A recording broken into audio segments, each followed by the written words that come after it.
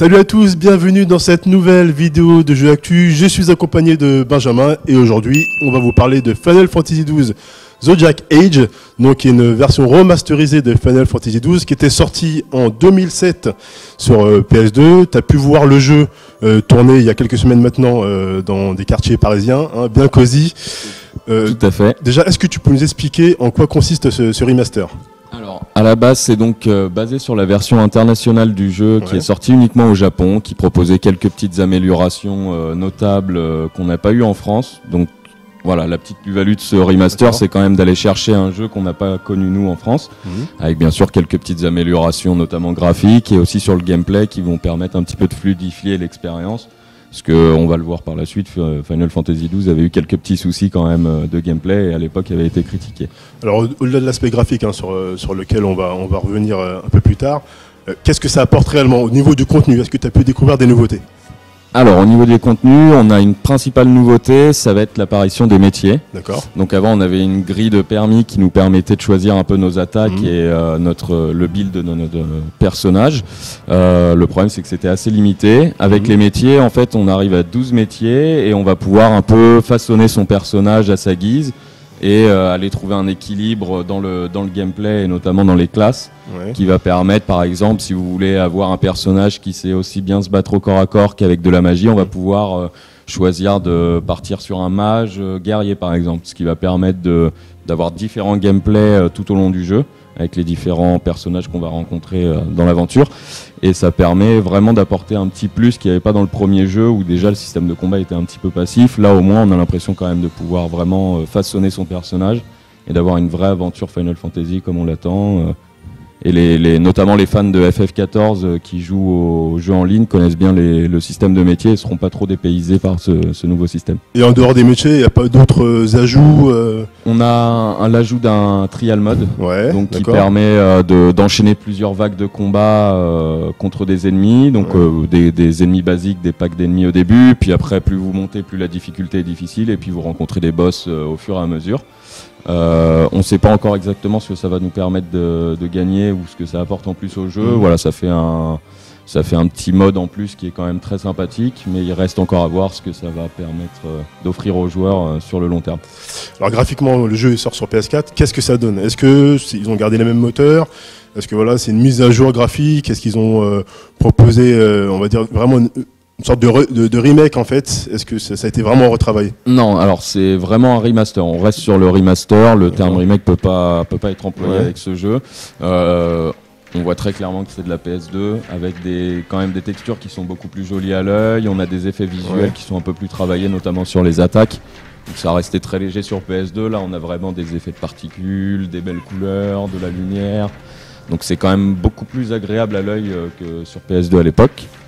Et euh, après, ça reste quand même très loin de, de certains remasters que j'ai pu trouver très très jolis. Euh, Par exemple, très, on- par, fait. par exemple, on sera pas au niveau d'un Final Fantasy VII par exemple. Non, Ouais. voilà, non, non. Clairement, on, on sent qu'on est encore sur PS2, Ouais. mais qu'on a quand même des, des textures plus lisses et plus jolies pour euh, correspondre au télé HD qu'on a maintenant, finalement.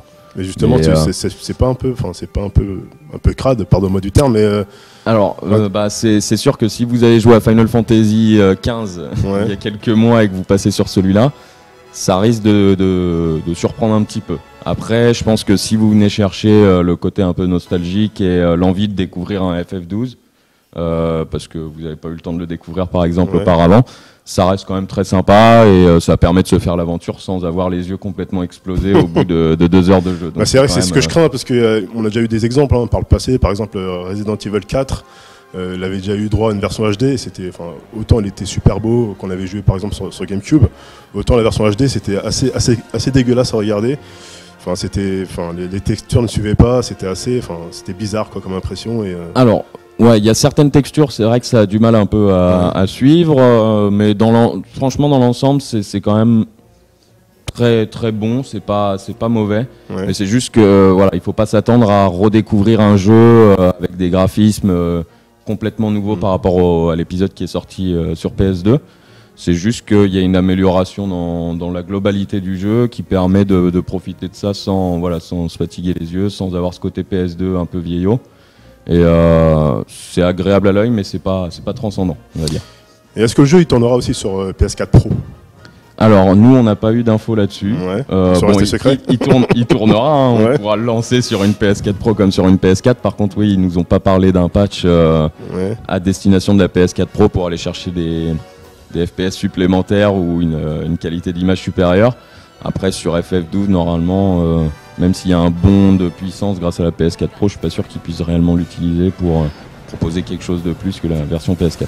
Et sinon, pour en revenir au, gameplay du jeu, euh, ça fait pas un peu bizarre de, retrouver justement ces, mécaniques qui avaient été largement critiquées euh, à l'époque de la sortie de Final Fantasy XII, système un peu bâtard entre euh, tour par tour et, et action pure et dure. Voilà, alors c'est vrai que bah, sur les derniers épisodes, que ce soit le 13 ou le, le 15 qui est sorti plus récemment, on a quand même un système de combat qui est beaucoup plus axé action, où la tactique elle, euh, elle passe un peu au second plan. Euh, sur FF12, en fait, le système est assez particulier parce que, si vous voulez, quand on quand on combat, donc on a son personnage qui va aller attaquer le pers- le- l'ennemi, et tout se fait en temps réel. Donc l'action continue de se dérouler sous nos yeux. Ouais.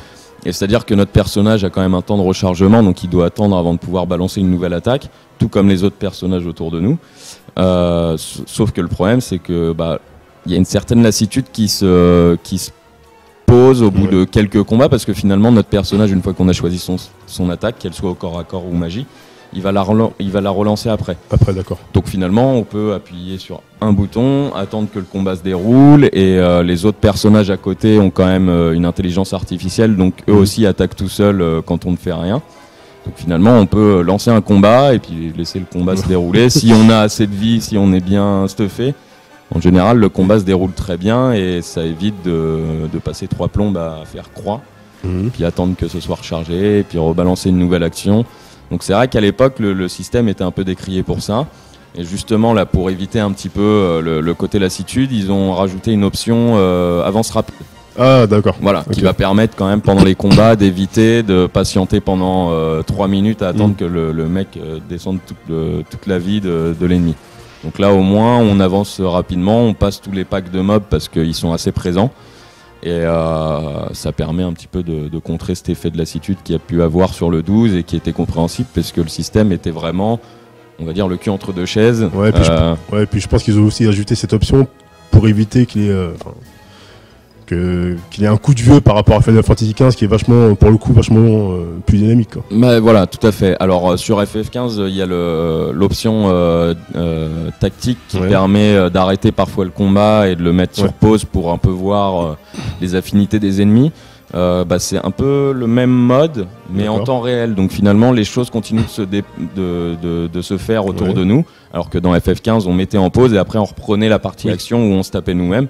Et donc on avait quand même ce combat où on participe vraiment. Là sur FF12, il n'y a pas le parti, la partie combat où on martèle les touches pour euh, faire des combos ou, ou donner des, des attaques euh, aux ennemis. Et sur FF12, on est vraiment croix et on attend et on laisse euh, le, le combat se dérouler. Donc c'est un petit peu, ça peut être embêtant pour certains qui ont connu je FF15 et vois. qui ont bien aimé FF15. Donc, euh, Bah, je pense qu'on a fait le, le tour de la question. Euh, Est-ce que tu peux nous rappeler la date de sortie du jeu? Alors, ce sera le 11 juillet Ouais. prochain, donc ça va arriver assez vite. Euh, J'ai pas eu d'infos sur le prix, mais bon, ce sera pas à 60 euros comme un jeu euh, standard. Encore heureux. Hein. voilà, euh, faut pas s'attendre à un prix faramineux. Euh, et il reste encore à voir un petit peu le, le- le mode trial où euh, on n'a pas su exactement ce qu'on pouvait gagner, ce qu'on pouvait aller tirer de ce mode. Mais je pense que ce sera un ajout assez sympa pour ceux qui veulent récupérer du stuff pendant l'aventure et euh, pouvoir aller jusqu'au bout du, du jeu et son contenu qui est quand même assez large. Donc voilà, si les gens veulent s'occuper cet été, ça reste quand même un bon jeu. Et s'ils n'ont pas découvert FF12, euh, le remaster est bien fait et je pense qu'il y a quand même euh, du bon à aller retirer. Et si on a envie de découvrir un très bon jeu, parce qu'il y a quand même un très très bon lore et une très belle histoire derrière, ça vaut le coup d'y aller. Et bien voilà nos impressions sur Final Fantasy XII Zodiac Age, donc qui sortira le 11 juillet prochain. On vous donne rendez-vous déjà pour de nouvelles vidéos sur Jactu. On se prépare déjà tout doucement pour le 3 2017. Les- N'hésitez pas à laisser vos commentaires, vos impressions, euh, vos avis sur nos vidéos sur YouTube, Facebook et Twitter. On est présent sur les réseaux sociaux. On vous dit à très vite. Ciao